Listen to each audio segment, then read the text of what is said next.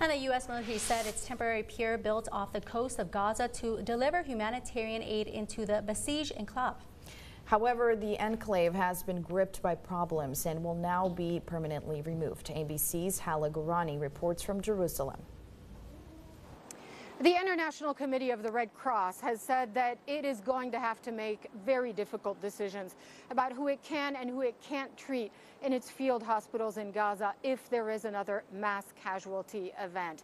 This, as the UN says that eight schools in Gaza have been targeted over the last 10 days, six of them UN schools. The Ministry of Health says over 80 people have died in that period. And since October 7th, 39,000 people have lost their lives in the Gaza Strip.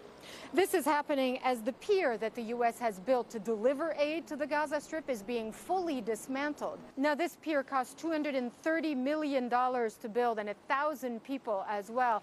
It ended up being operational for only 20 days in total, and it is a symbol of the failure of the aid delivery effort, both from the sea and also from border crossings from Israel into Gaza.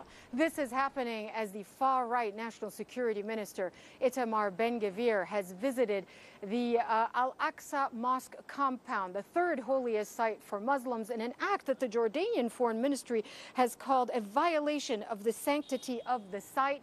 He has gone there to pray, he says, for the hostages with the Dome of the Rock behind him. This is the second time since October 7th, and an act that Palestinian groups have condemned as a provocation.